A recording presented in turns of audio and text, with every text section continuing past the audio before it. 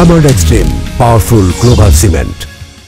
national environment and human rights foundation Chattogram জেলা কমিটির উদ্যোগে এতিম, গরিব, অসহায় ও প্রতিবন্ধীদের মাঝে সাহায্য প্রদান অনুষ্ঠান সম্পন্ন হয়েছে। শুক্রবার বিকেলে চট্টগ্রামের হালিশহর কাঁচা রাস্তার মোড়ে এই সাহায্য প্রদান অনুষ্ঠান অনুষ্ঠিত হয়। এ সময় উপস্থিত ছিলেন সংগঠনের চেয়ারম্যান মোহাম্মদ আব্দুল আজিজ, মহাসচিব আব্দুল মান্নান, ভাইস চেয়ারম্যান রোকসানা মাহবুবা, চট্টগ্রাম জেলা কমিটির জয়েন্ট সেক্রেটারি সাজ্জাদ আহমদ সাদ্দাম, সহসভাপতি অ্যাডভোকেট এস এম ফারুক মহিলা বিষয়ক সম্পাদিকা শামিমা বেগম, ক্রীড়া ও সাংস্কৃতিক বিষয়ক সম্পাদক শহীদুল আলম সুমন, পাঠাগার বিষয়ক সম্পাদক মোহাম্মদ জাবেদ, শিক্ষা বিষয়ক সম্পাদক ইকবাল হোসেন,